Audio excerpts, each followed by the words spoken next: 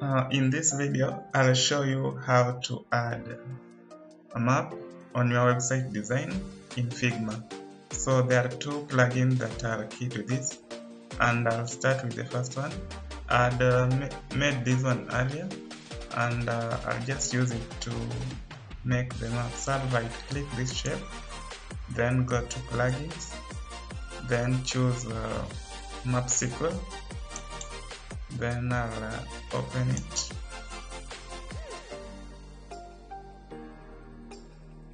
For this particular one uh, you need to know the center or uh, the coordinates of the place you want to uh, map.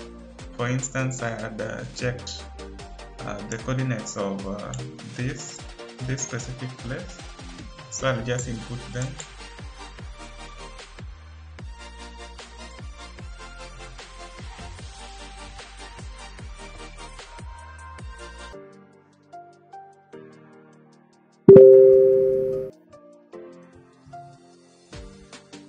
and enter then you can just zoom in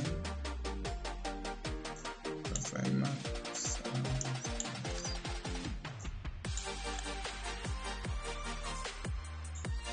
yeah having zoomed in to a level that I'll, I'm comfortable with I'll just click the map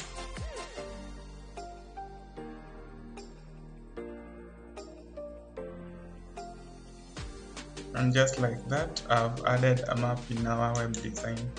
For the second plugin uh, it is called uh, uh, Figmap but uh, that one you must know the dimension of your shape. So for instance here we have uh, our width as 1128 and our height as 559 so you need to note those one down so that uh, you may make a map that uh, fit this shape. So I'll just right click, go to plugins, then open Figmap.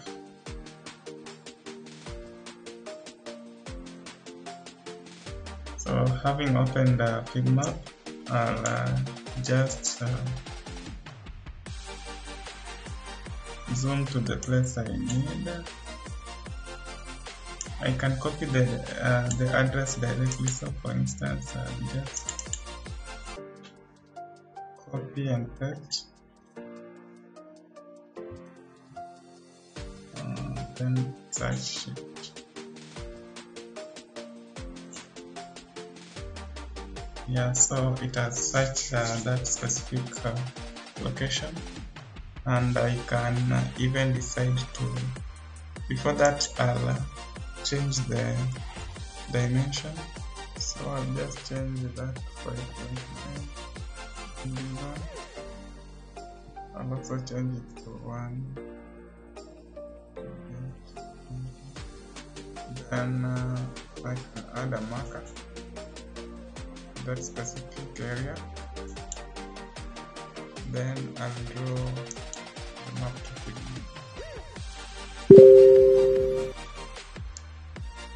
having drawn that I can just move it over to my shape and they are aligned so by that I've just added a map. And that is it. Thank you for watching. Please subscribe like and share uh, if you want to see similar content. Thank you